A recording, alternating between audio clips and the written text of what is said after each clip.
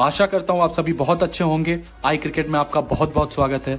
Video को शुरू करने से पहले हम आपको बता दें कि हमारे चैनल पर एक गिव अवे चल रहा है आईफोन 11 प्रो मैक्स का।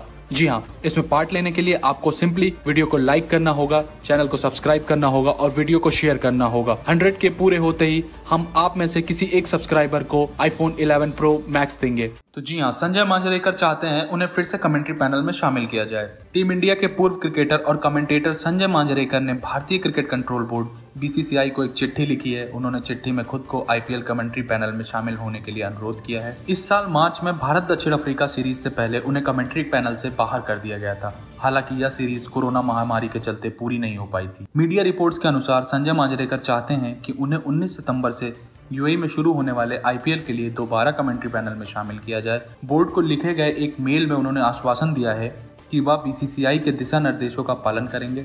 बोर्ड को मांजरेकर की ओर से यह दूसरा ईमेल भेजा गया है। मांजरेकर ने लिखा है कि आईपीएल की तारीखों का ऐलान हो चुका है। अब बीसीसीआई टीवी जल्द ही अपने कमेंटेटर पैनल का चयन करेगा। बोर्ड के द्वारा तय किए गए दिशा निर्देशों के, के तहत काम करने में खुशी होगी। मीडिया रिपोर्ट्स के मुताबिक पिछले साल वर्ल्ड कप के दौरान संजय मांजरेकर ने रविंद्र जडेजा के ऊपर एक टिप्पणी की थी। उन्होंने कहा था कि रविंद्र जडेजा इतने अच्छे ऑलराउंडर नहीं है। इसको लेकर खिलाड़ियों ने बोर्ड से शिकायत दर्ज कराई थी। और वहीं कहा जाता है कि अपनी टिप्पणियों का खामियाँ मांजरेकर को भुगतना पड़ा और उन्हें कमेंट्री पैनल से हटा दिया गया। बोर्ड के एक अधिकारी ने कहा है कि मामला सुलझा लिया गया है। मांजरेकर ने वादा किया है कि वह टीवी कमेंटेटरों के लिए तय नियमों का पालन करेंगे। हालाँकि इस बात पर आखिरी फैसला बोर्ड अध्यक्ष सौरभ गांगुली और सचिव शाह लेंगे। भारत के पूर्व बल्लेबाज मांजरेकर लंबे समय से कमेंट्री करते रहे हैं।